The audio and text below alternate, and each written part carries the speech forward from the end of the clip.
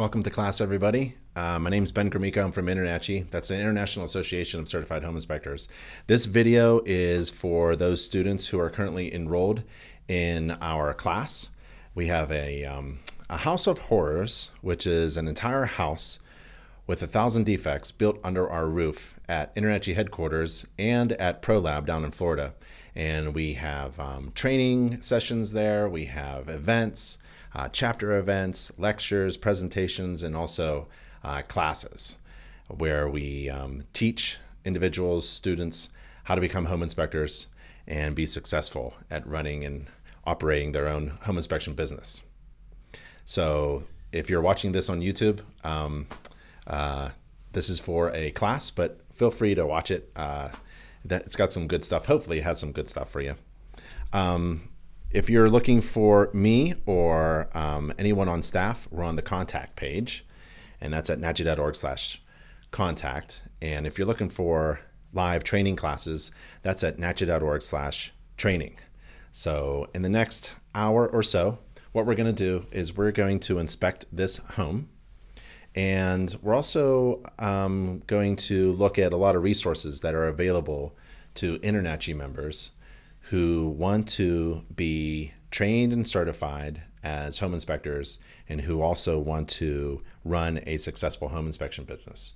So get out your notebooks, um, pen, um, cup of coffee, and let's perform a home inspection. And while we're performing an, an inspection, we'll go over the following topics. Um, and if I miss a, a few topics, just ask your um, certified master inspectors who are trainers at your class.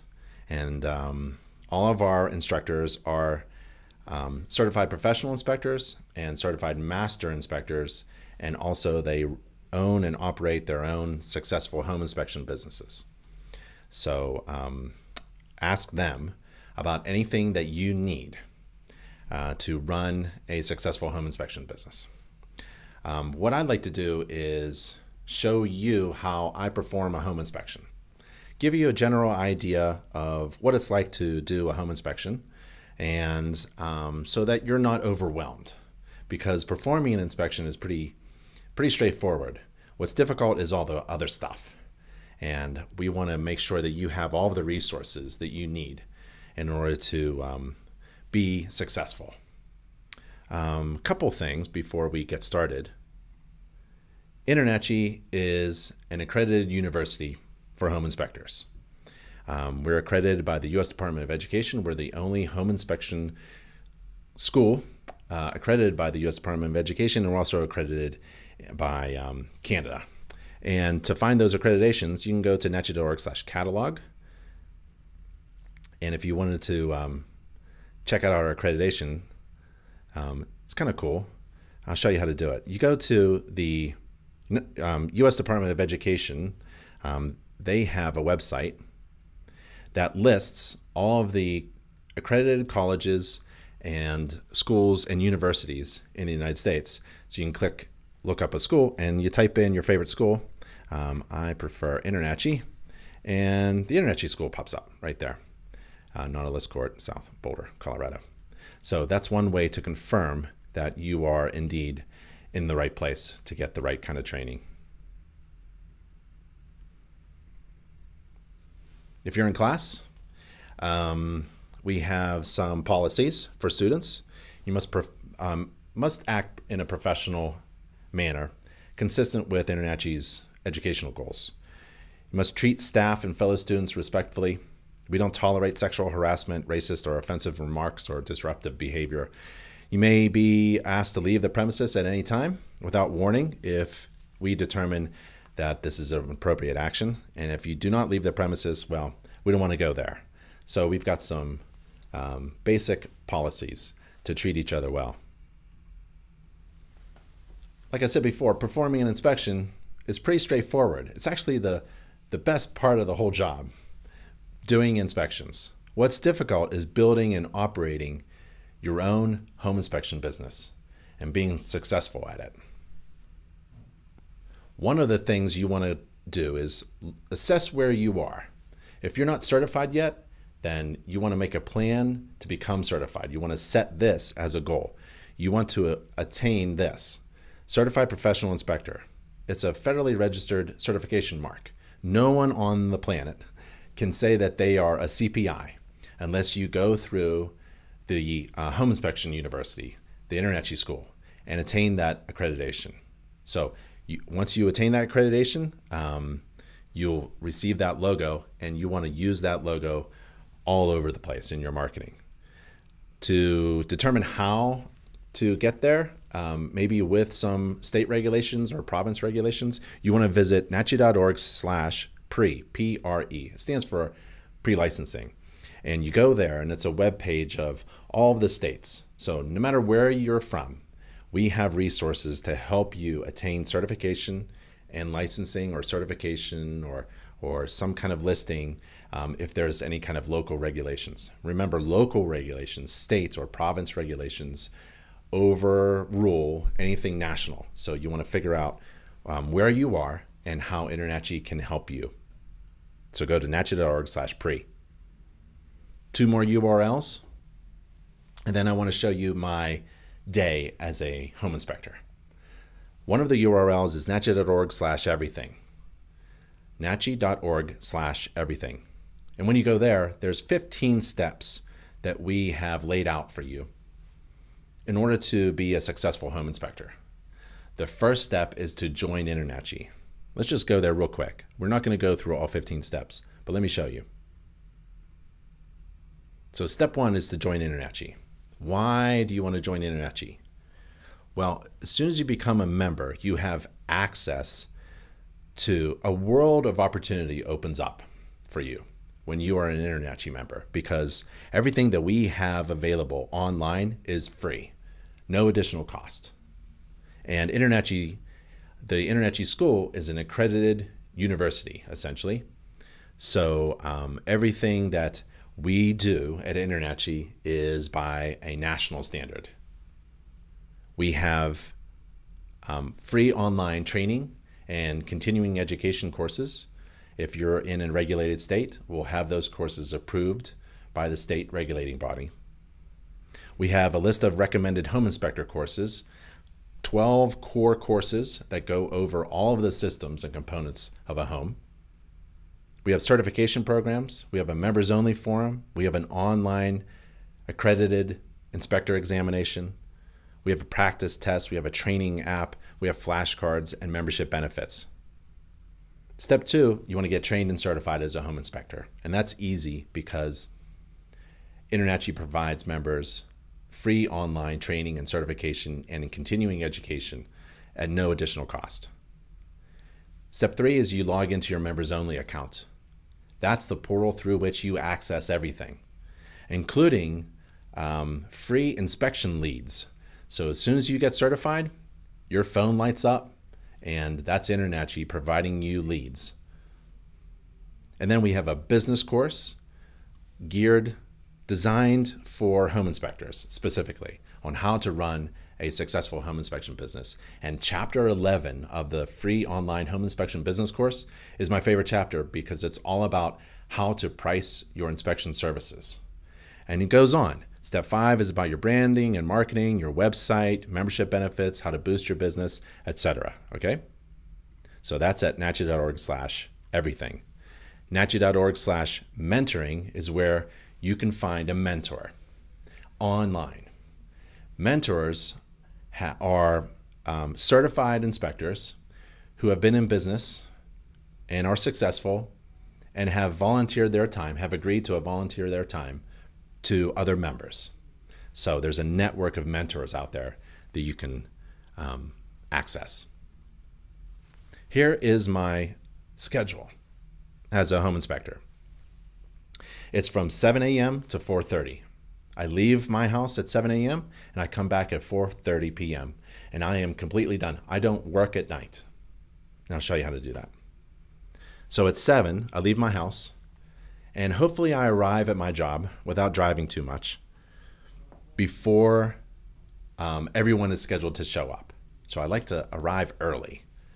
So if I can schedule my first job at 8 My client arrives at 8, maybe with the agent. I have access to the property early. We've scheduled that ahead of time, notified the listing agent and the homeowner that I may arrive a little bit early. And I do that because, well, where I come from, if you're on time, you're late. so you want to arrive early and get ready. Get your tool bag out. I've got my tool bag behind me here. Um, get your ladder out if you're going to use a ladder or a drone if you're going to do a drone or get your just get everything ready and what i do is i inspect the roof because i don't take my client up on the roof. I don't need anybody with me on the roof. I don't want anybody with me on the roof. And so while i'm there early i'm going to do the hardest thing first. I'm going to inspect the roof. And you may inspect the roof with a ladder going to the gutter's edge or the eaves. You may not use a ladder and use a, a scope, like an extendable pole. You may use a drone, a pair of binoculars. You're required to inspect the roof. If you're unable to see it, you should disclaim it in your inspection report. Tell your client, I can't see it, I can't access it. So, um, me personally, I try to look at the roof first and examine it, observe it. I'm looking for defects, trying to describe its condition to my client in a written format. I'll take pictures and videos. And when my client arrives, I'll be done with the roof inspection and I'll be ready to do the exterior with them and the rest of the house. I want my client to arrive and walk with me as I perform an inspection. And hopefully that starts on time, 8 o'clock. I have a second job scheduled at 12 o'clock. In between, there's lunch, there's a change of shirts, a little deodorant, a little bit of coffee, and I can do two jobs a day my goal, ultimate goal, is to gross $1,000. And so when I'm at 8 o'clock, you can see my schedule at 8 to 8.15, my client arrives and I'll walk around the exterior with them. I may even do two loops. I'll go around the exterior with my client, just very briefly show them this and that. I'll scoot them into the house because that's actually where they want to be. They want to be in the house, measuring, planning renovations, looking at the bathrooms and kitchens and bedrooms and things like that, and planning on what to do with their new dream home and how to move in and make it their own. And I inform them when I meet them in the driveway that if I find anything wrong, I'll certainly find them and show them that. Otherwise, I'll, I'll catch them while they're in there, right? Very casual and loose. But if they want to walk with me throughout the entire inspection, I actually prefer that. Because so I'll walk with my client, I'll talk to my client, I'll answer their questions while I'm inspecting and writing the inspection report using my mobile device that holds my inspection report software. At 8:15 to 9:15, I'm doing the heavy lifting. This is after the exterior. I've done the roof early, exterior. Now I'm doing HVAC, hot water source, water supply, drain waste vent, that's the drain. So it's water coming in and water going out, and the uh, the other plumbing, and then the difficult stuff of electrical stuff and structure things. So structural components, um, they may be visible or finished if it's an existing home. Um, the basement may be finished. The crawl space may be inaccessible. It could be filled with stuff in it. The electrical panel is a little dangerous. Don't take the dead front cover off According to the standards of practice, you're not required to remove the dead front cover to look inside the electrical panel.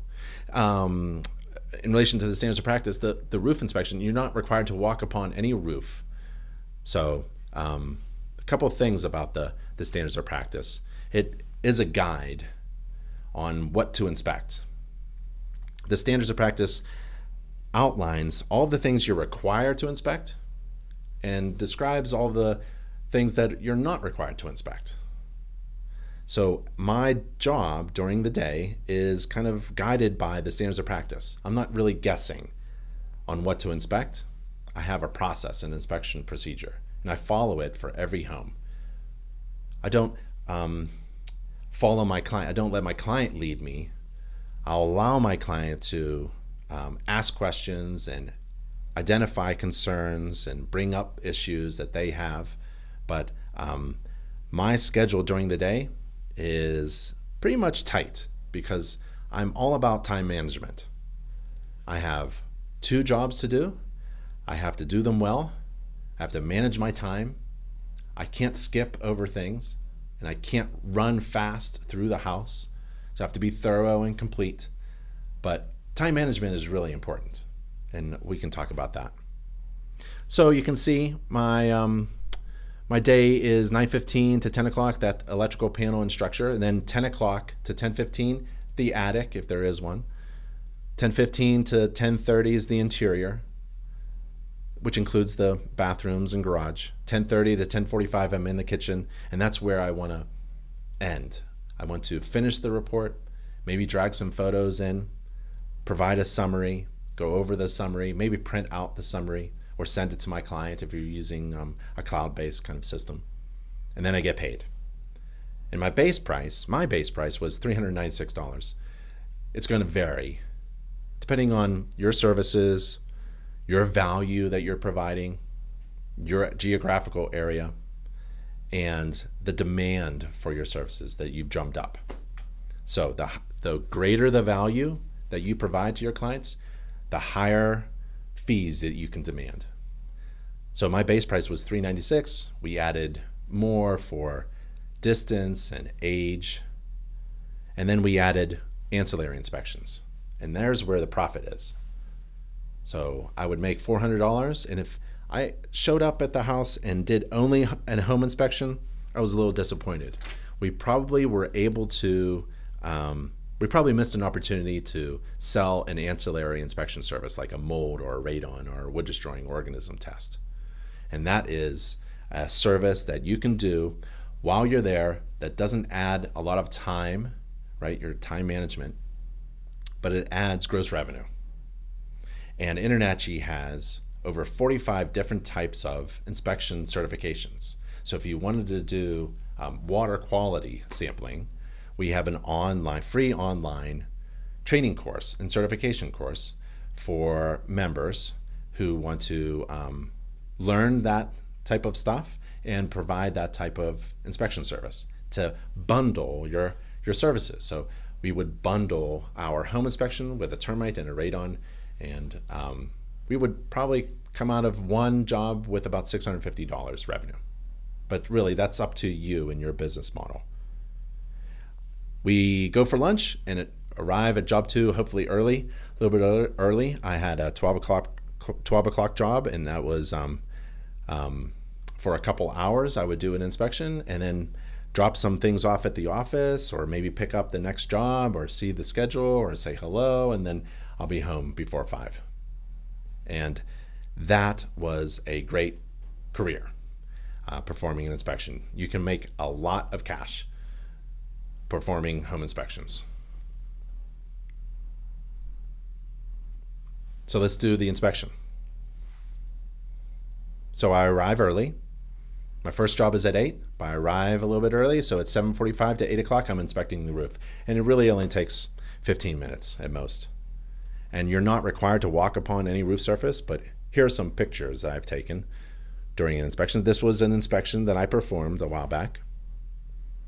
And there's the URL, the web address for the standards of practice. Home inspection standards of practice is at nachi.org slash SOP. And according to the standards of practice, you're not required to walk upon any roof surface. Even if it's a flat roof, only one story high, you're not required to walk upon any roof surface unless there's some kind of local regulation that requires you to do so. There's my ladder, and I'm going to take probably 15, 20, 30 pictures, depending, and I want to take a picture of everything. And some of the things that I, I take a picture of are kind of like that. So that's a picture of me standing on the roof, and I want to put that picture in my inspection report. Why? Because I feel that my home inspection report is the best marketing piece that my company can produce. Better than a business card, better than a flyer. People just throw those things away. But people will actually take a look at your inspection report, will flip through it. And I felt that by the end of my inspection report, the reader should be convinced that I'm the best home inspector in the world. It's kind of that kind of marketing piece. So I want these types of pictures in my inspection report to show that I get up on the roof and that you should hire an inspector who does. My that's a good shot. My competitors may not get up on a roof. So I have to figure out what makes me different from all the rest. That's what you have to ask yourself. What makes you different? Why should you be hired instead of your friendly competition sitting right next to you in class? Um, what makes you special? So, your inspection report should communicate that.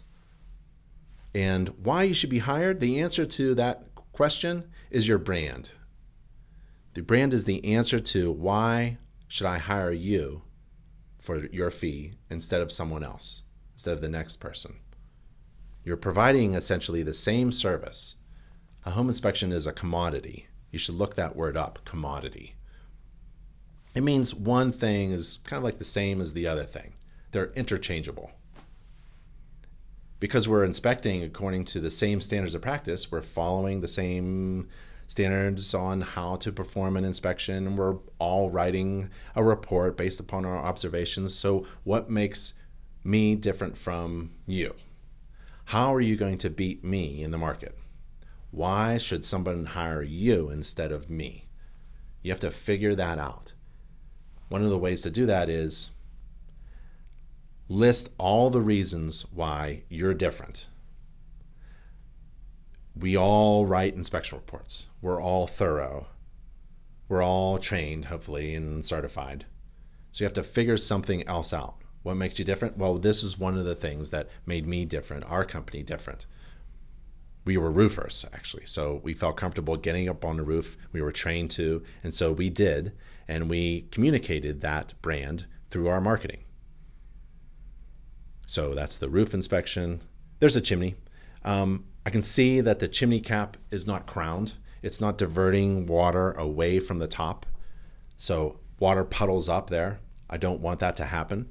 So we need a chimney professional to take a look at that. I don't want water to go, and it looks like there's rust developing. So I don't want that water puddle to stay there, develop rust and corrosion, then start to leak. So we need somebody to take a look at that.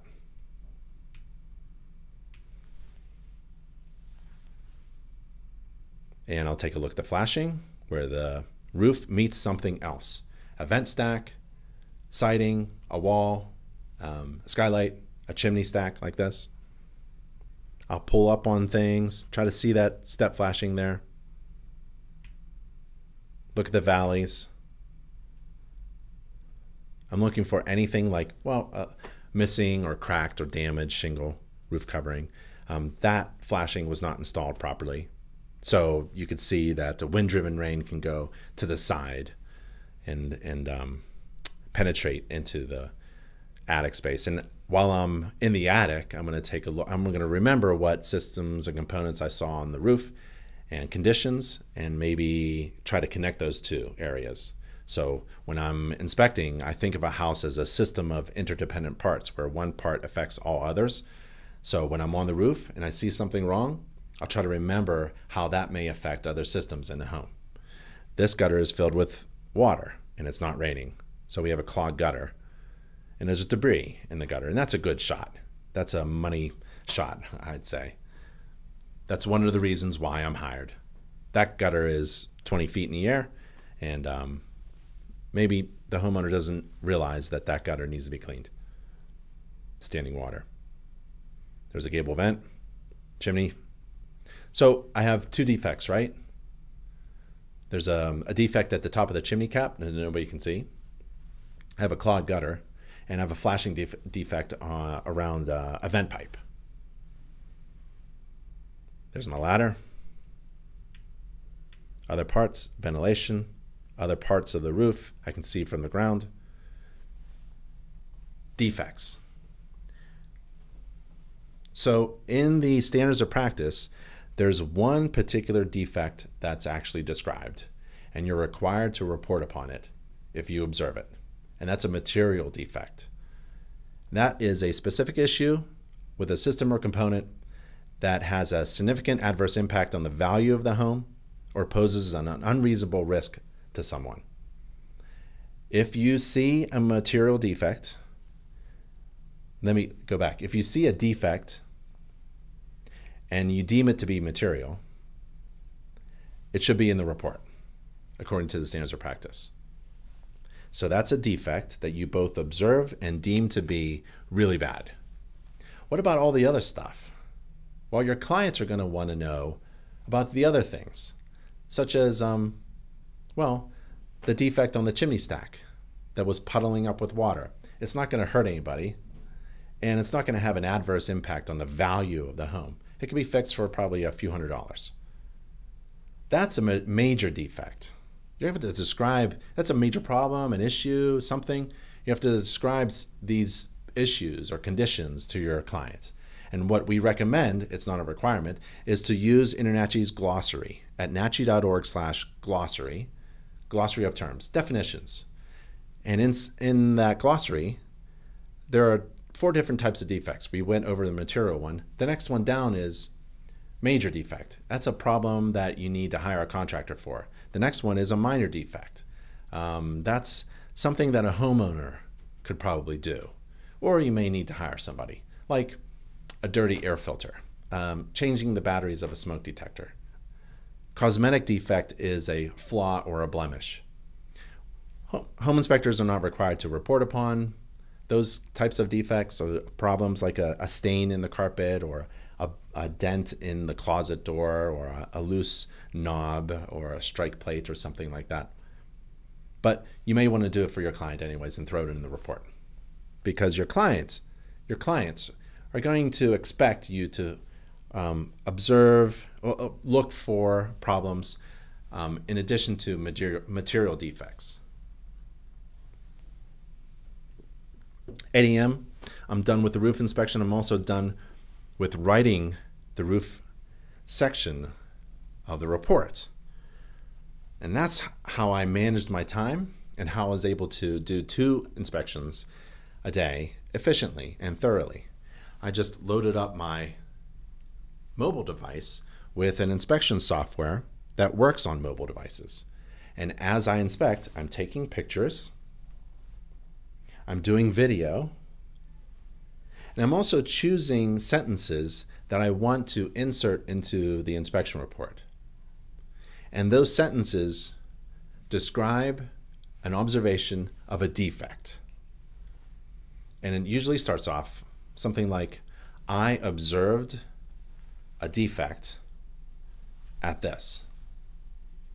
Like, um, I observed a defect at the top of the chimney stack where water is apparently puddling up during a rainstorm. Ideally, all stacks divert water off of the top of the chimney stack so we don't have any water intrusion problems. Correction and further evaluation by a chimney expert is recommended. And I would, that's the sentence that I select on my device. I tap it and it goes right into the report.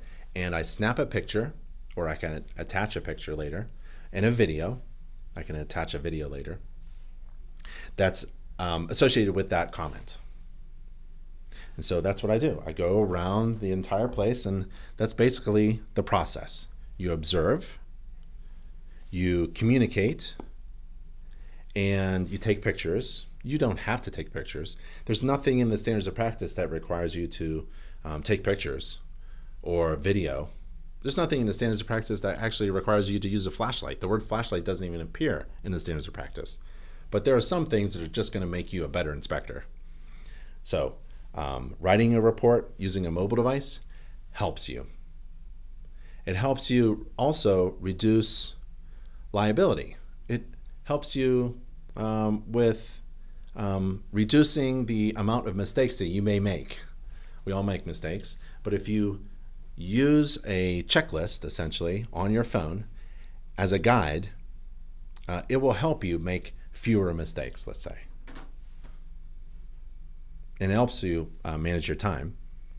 And you're actually writing the report as you inspect. So write your inspection report as you inspect. That's a good recommendation.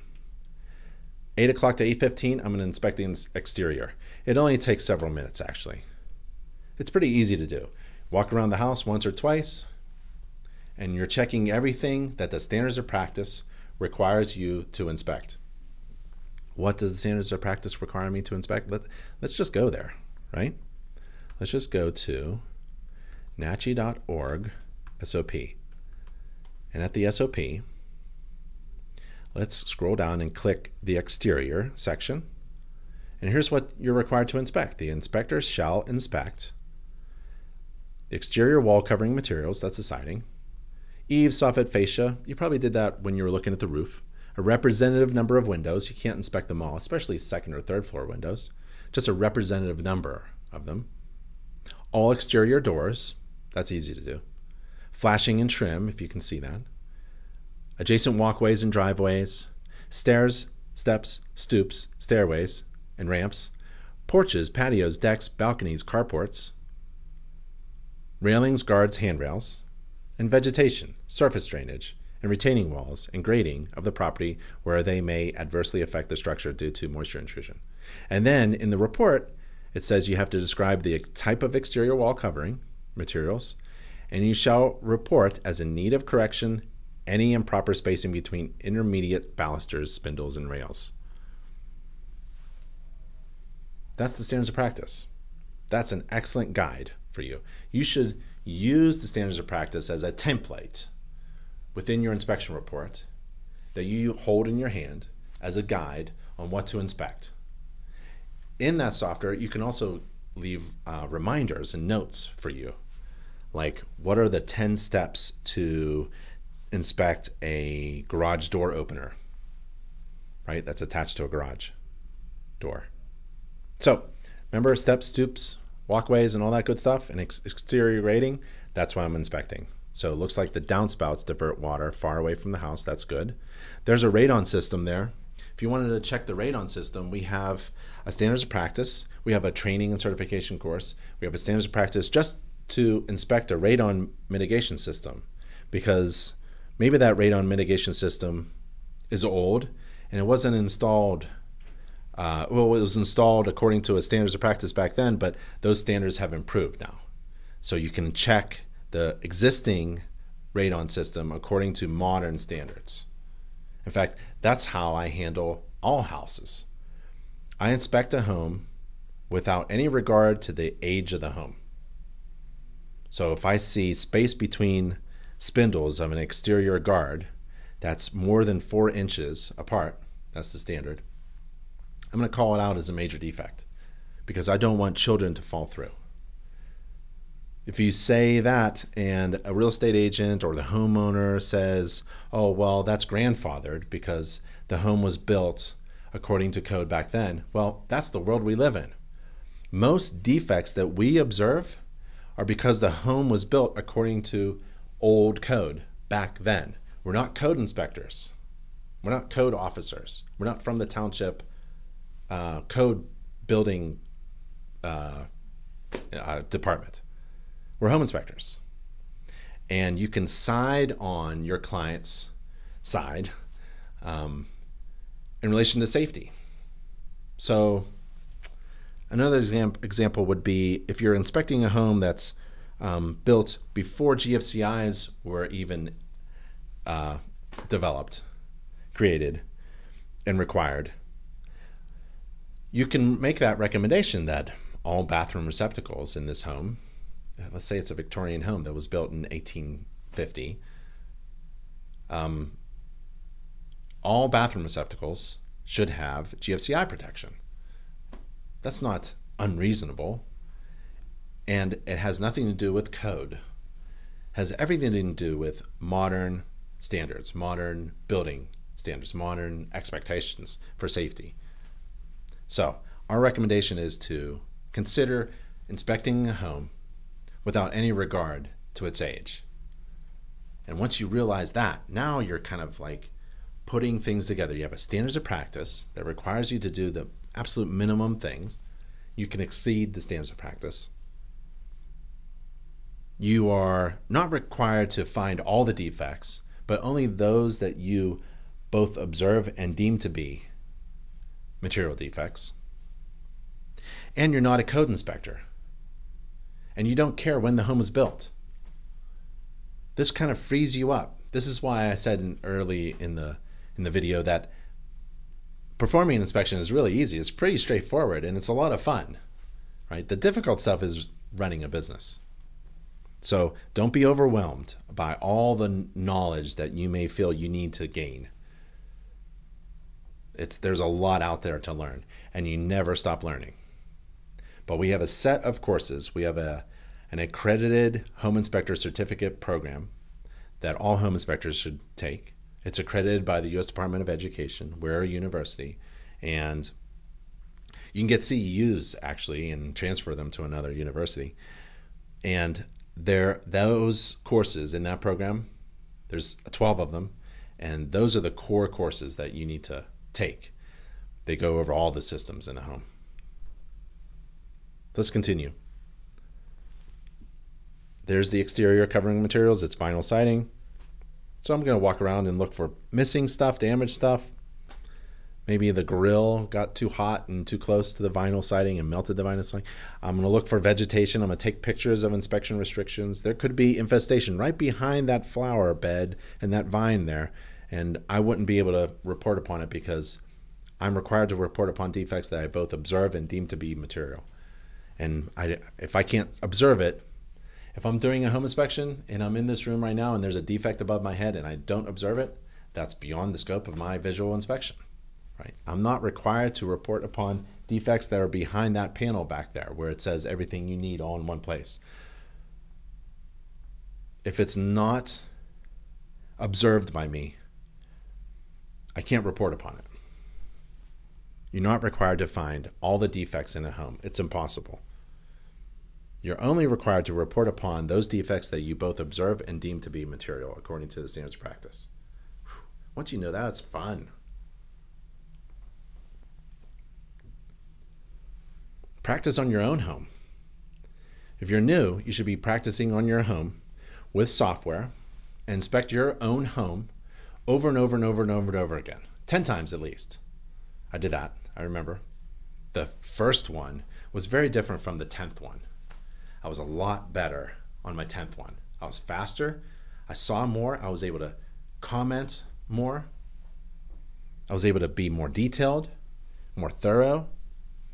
So practice.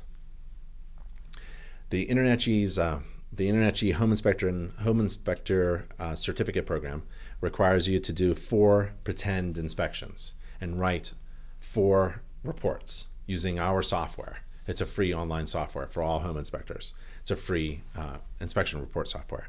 And you can use the InterNACHI House of Horrors if you're visiting us to perform that inspection if you wanted to. Just inspect the House of Horrors four times. Four times. Inspect your home, your friend's home, everybody actually, as part of a, marketing strategy. Everyone in your neighborhood should know that you're the home inspector. Like I haven't performed an inspection for a client, a paying client during a real estate transaction for years. But everybody in my neighborhood knows that I'm the inspector. And when there's a weather event, like we had heavy rains, everyone knows that I have the moisture meter and the infrared camera. And they call me up. They'll even stand in my driveway. My neighbor just a few months ago was standing in my driveway as I pulled up from work because her skylight leaked and she hired a roofer and she wasn't sure if the roofer was mm, giving her the information in an honest way. So I had to follow up on a contractor. You, I had to oversee a contract, and home inspectors should be able to find those types of um, opportunities. We shouldn't be just inspecting homes during a real estate transaction, but we should be inspecting homes because homeowners need us. InterNACHI believes that all homes, every home, should be inspected every year. Every home should be inspected every year as part of a homeowner's routine home maintenance plan. And taking that kind of opportunity, you can start marketing your services to anybody. Tell everyone that you're the home inspector in your neighborhood. So as I inspect, I'm moving things with my hand. That's a great shot because there's dense vegetation. I really can't see anything. A picture's worth a thousand words. Everything looks really good. I don't see any trip hazards. There's a loose step there that's settled that needs to be fixed. It detached from the deck. The deck surface is okay. The space between the spindles is too far apart, large enough for a child to fall through. And there's a carpenter bee. Oh. So in my bag, oh, sorry about that. In my um, inspection training, oh, sorry, inspection bag, I'm holding it right here. I've got a lot of tools here. And inside my bag that I bring out to the front door when I start my inspection, I have a, um, a complete field guide to wood destroying insects. And you can buy this and any kind of resource for home inspectors, including uh, and especially home inspection tools from inspectoroutlet.com. Inspectoroutlet.com, one word. And in here, um, we go to the carpenter bee section, and this helps me describe to my client um, what we're looking at. Like this is the carpenter bee illustration, and this is a field guide, so it's all laminated. And this is what they look like, right? And they drill holes like that. It's kind of cool. And that's exactly what I'm seeing there. So see that in my field guide and see that hole in the board of the deck? Yeah, same thing. Carpenter bee. I look for, I'm not a licensed pesticide applicator. If you're going to spray pesticide, you need to be regulated by the state in the United States. Um, but I'm going to look as a home inspector for anything that damages wood, including moisture, mold, and bugs. So I'm going to report to my client. That's the kind of value that I bring to my inspection. If I can overwhelm my clients with value, I can demand higher fees. In fact, that should be a goal in your business. How are you going to remember your brand? Your brand is who you are. What kind of value can you bring to your client? What you should overwhelm your clients with so much value, they're choking on it and they have to hire you. And it almost doesn't matter what you charge, right? That's where you want to be. That's how you're going to distinguish yourself from all the rest. You have to figure out what special things you do. What problems of your clients do you solve? What actual benefits do you provide to your clients who hire you? If you could communicate that, that's marketing. If you can develop that brand, those are the reasons why you are hired. So, one of the reasons why I'm hired, as we've seen so far, is I get up on the roof, right? And I also have other resources so I can look for anything that damages wood, even bugs. And I use software so that I can immediately provide you with a summary after the inspection ends. Immediately, I can get, send you a summary. I can send you the entire report, actually. It's one of the values that I provide. So, taking a look at the rest of the deck, I try to get under there. If I'm restricted, I'll put it in the report that I can't crawl all the way, that the inspection was limited or restricted. And that dense vegetation there that's a restriction to my inspection as well. It's a visual only inspection. It's like a home inspection is like putting both hands behind your back and just walking around the house. You don't have to touch anything, you don't have to move anything. You can use normal operating controls like the thermostat. But it's a visual only inspection. You don't have to measure anything. I think in the attic, we ask you to, according to the standards of practice, to approximate the depth of the insulation, the thickness of the insulation. Here's um, a condenser unit on the outside. Compressor. Fins look good. It's on a good base. You can see that. I'm not required to um, estimate the age of the unit or the size of it. Um, I'm not doing a delta T or some other kind of measurement of the home and the ductwork and anything like that. But I will take a picture of the manufacturing label and I may include it in the report, but usually I don't. I just hold it back. If I need to refer to it, at least I have it. So that's in good shape. The suction line is insulated. There's a disconnect within sight. Got some vines and vegetation near the unit that's crawling up the siding. downspouts are diverting water away from the house. There's the driveway. Driveway looks good. There's um, my truck. It was called Peach Inspections. Um, I'm not sure if you have uh, decided upon a name for your company, but um, you want to think about that as well, and it should help communicate your brand a bit. It should it should mirror.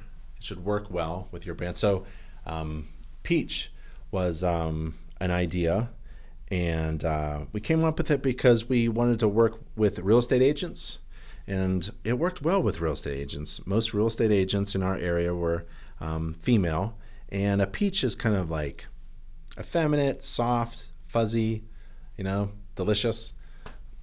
And so it kind of worked with our brand and our message, how we reached and communicated to other professionals. We were approachable, especially for first time home buyers. And we also used that brand to market our services by delivering peach candy and fresh baked pastries, peach pastries.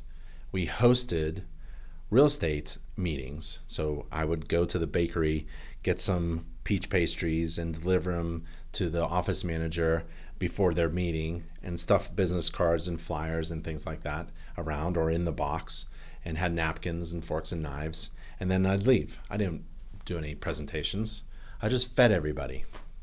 And that or I delivered baskets of peaches actually in season to real estate offices. And I didn't go for the really big offices, I went for the small offices because they hardly ever get any attention.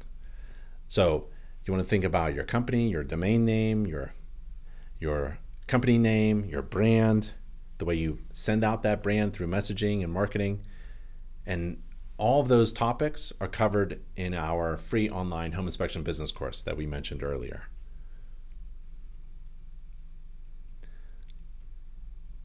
when I do one system, when I inspect one system, I, I tend to bump up into other systems. Remember, a house is a, uh, a system of interdependent parts. Other systems bump into and interact with other systems. So I'm doing the exterior inspection, but I bumped into already the um, air conditioner unit and what? This is the electric meter. So while you're inspecting with your mobile device, it's pretty easy to jump from here to there from one system, like the exterior, to the electrical system and make comments that way. There's the grounding wire, cable, frost free hose bibs, there's water running there. There's the old radon system, and there's the dryer vent, and it's clogged. So that's a fire hazard. We need that to be cleaned, major defect. All exterior receptacles are GFCI protected. That's my GFCI tester. And then uh, the garage door opened up for me, so I inspected the garage. I had that opportunity. We want the floor sloped, all the walls um, sealed up, no breaches in them. All garage receptacles are GFCI protected. There's 10 steps to inspect a garage door opener using normal operating controls. There's the laser beam. The drywall looks good. There's some inspection restrictions because of the storage and the vehicle. There's the clean out pipe. And there's a breach in the firewall. So if there was a fire in the garage, the fire department likes about a half an hour before that fire breaches the firewall around the garage and enters the house. So this is a fire hazard, easy to fix. It's a fire hazard, but easy to fix. It's going to be a defect in my um, in my inspection report, but it's an easy fix. And so that's one of the things that you want to um, be aware of how you communicate problems. So this is a fire hazard, sounds terrible, but it's an easy fix. Get a little piece of drywall, tape it, couple layers, paint it up, and you're good to go, right? So my approach was always pretty friendly. No matter what the defect was, I smiled. I showed my client what it was, maybe gave some informal, off the record advice on how it can be fixed. And then my client, uh, that was written in the summary, and then my client took action upon that. They could fix it themselves when they move in, they could ask the, the homeowner to fix it. Sometimes that isn't the best option because the homeowner will they're moving out, so they're going to fix things as fast and as cheap as possible, or they can negotiate on the price or something like that. At least they are aware of the defect that I found observed. So, um, and that also comes to a point where um, you may have heard that um, home inspectors are criticized as being deal killers. Um, no such thing. If you think about it, there's hardly anything, in in my opinion, there's hardly anything a home inspector can say that can uh, kill a deal. Why? Because your client has spent invested an enormous amount of time and effort in finding their dream home. And this is their dream home. It's in the right neighborhood, the right school district, it's the right price. They have qualified for a loan. Uh, they found the right home, they found the right real estate agent and the bank and the value the adjuster has gone through. They've made a bid, it was accepted. This is the like the last minute, last thing that they can do. They just want to know is there anything major that they're not aware of that they should be aware of? And it's hardly there's hardly anything that you could say that would that would not that would prevent them from moving into their dream home. They're in love with the place. When they're emotionally tied, I felt that when my client was emotionally tied to the home, they're moving in no matter what. And if it's a $5,000 deck collapse defect, they're going to get that negotiated or fixed or something because the house is just amazing. Big deal. You know, a few thousand dollars compared to a $500,000 purchase is relatively uh, irrelevant. What's relevant is um, they found their dream home after all this work and they're going to move in. Right? So once you know that as well, again, performing an inspection is pretty straightforward and it's a lot of fun. It's the best part of your job running a successful home inspection business. It's difficult if you don't have the knowledge and skills of the business and marketing sides. So, going through a home inspection like we are right now is pretty fun. But the difficult stuff is all the other stuff. And we have that business and marketing stuff the courses, the training, the resources, the documentation, the agreements, the contracts, the legal side of things. All of that is available to InterNACHI members. Um, so we have everything you need all in one place, just like the sign behind me says. So 8:15, I'm done with the exterior. 8:15 to 9:15, we're going to do the heavy lifting: HVAC, hot water source, water supply, drain waste vent, plumbing. HVAC, it's a heat pump. There's the um, uh, refrigerant lines coming in.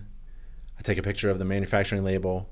It's essentially a toaster oven at the top with some breakers and large electric line. It produces condensate, goes into a pump, and is discharged outside.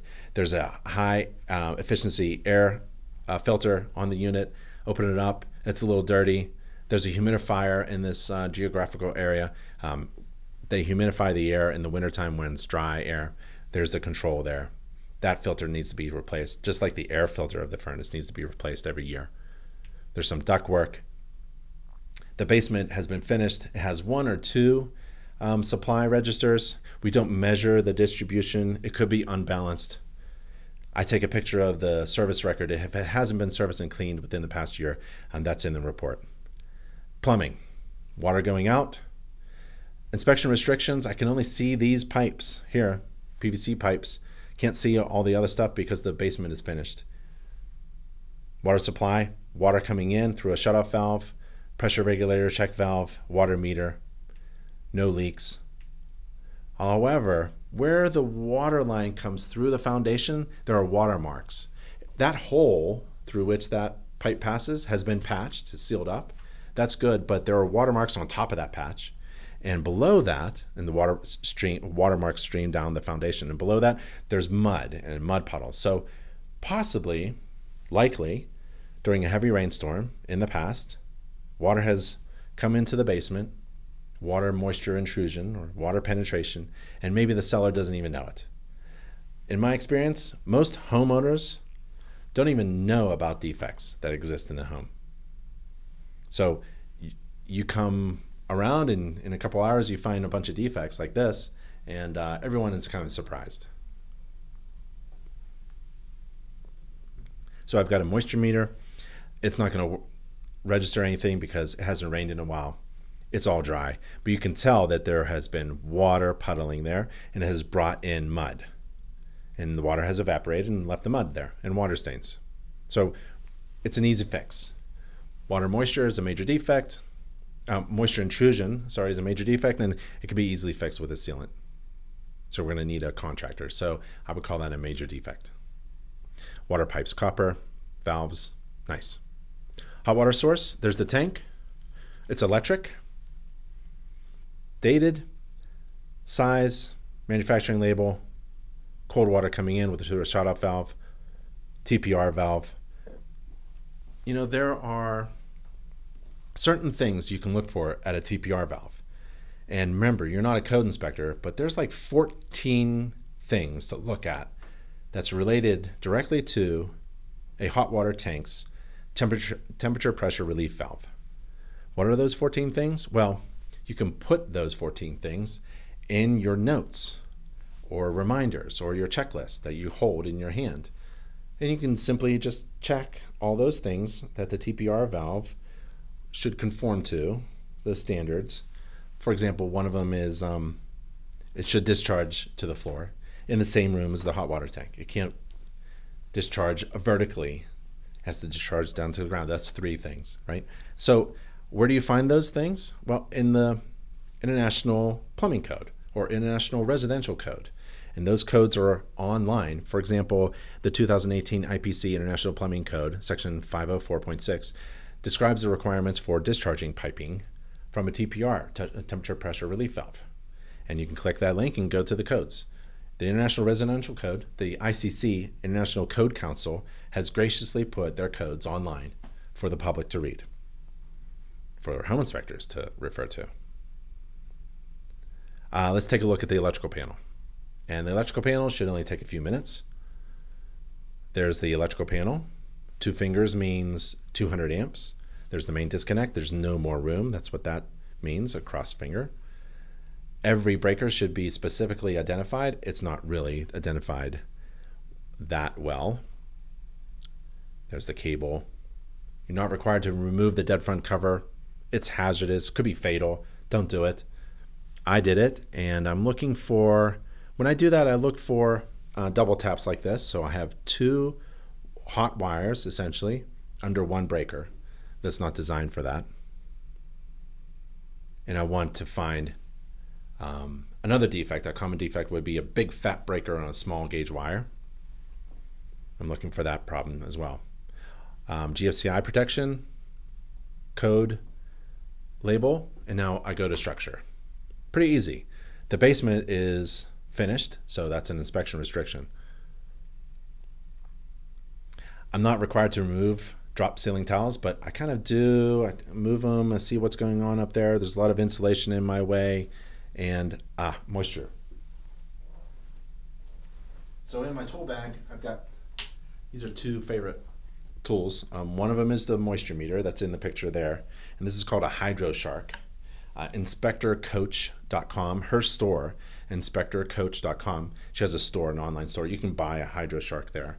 And it's, um, I've always used this. It's really cool. It's, um, it's a moisture meter. We don't measure moisture or measure anything really, but this um, tool, if it's wet, gives me an audible signal and a, and a light.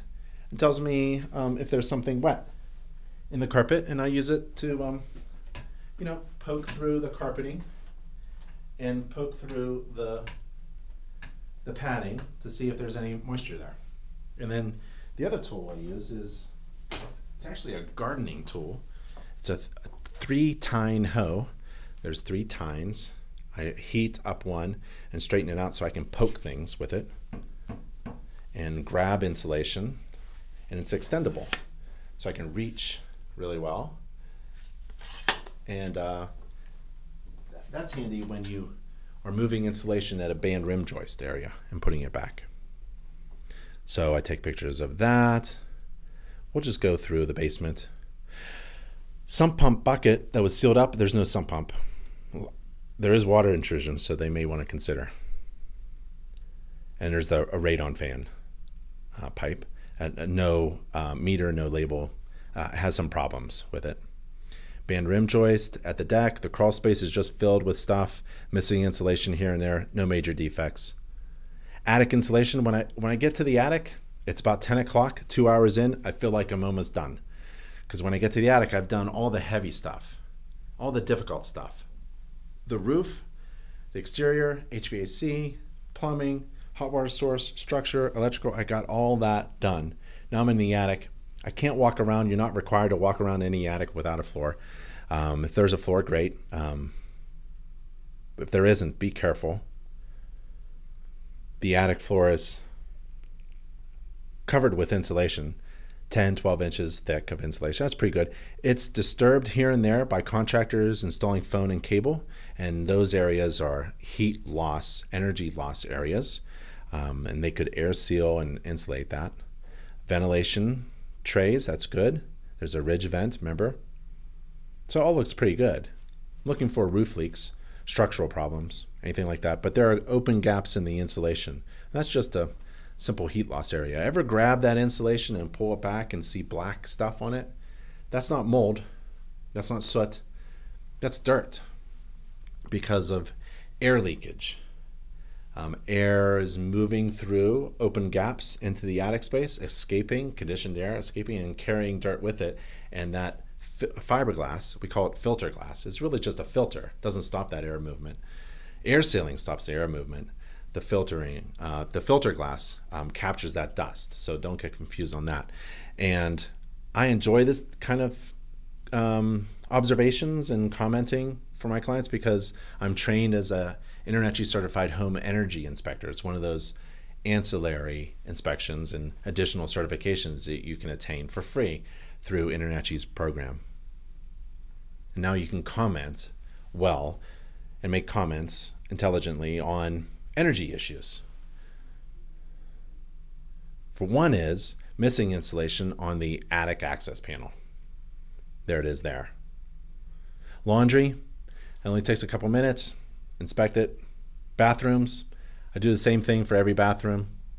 I inspect the the toilet, flush the toilet, try to move it with my side of my foot, um, run water, hot and cold water at the sink, look at the traps and the valves, run water at the tub, tub drain, shower, turn them all on at the same time, look for functional flow, GFCI protection at the bathroom receptacles, light, uh, bathroom exhaust should go outside window. Every bathroom's the same. Same inspection procedure over and over. And also representative number of windows, representative number of doors, wall receptacles, lights, fans, fixtures. So that's the half bath on the first floor. Doors. There's the fireplace. If there's a fireplace, you're uh, required to inspect it. One of the things that you inspect is the damper, open and close the damper if it's accessible. Not required to inspect the interior flue, but I may take a shot with it with my camera. There's the laundry, electric. The hoses are not pressure tested. We need GFCI protection in the laundry. There's a missing catch pan underneath the clothes washer. And then I end up in the kitchen. That's where I like to end up my inspection report as well, uh, review. Garbage disposal, sink, hot and cold water, GFCI protection is needed. I turn the dishwasher on. The island should be secured to the floor, GFCI protection. Dishwasher, I'll run a, a short cycle while we're there. I'll turn on the stove and range elements and oven and microwave, little microwave detector. And that's about it.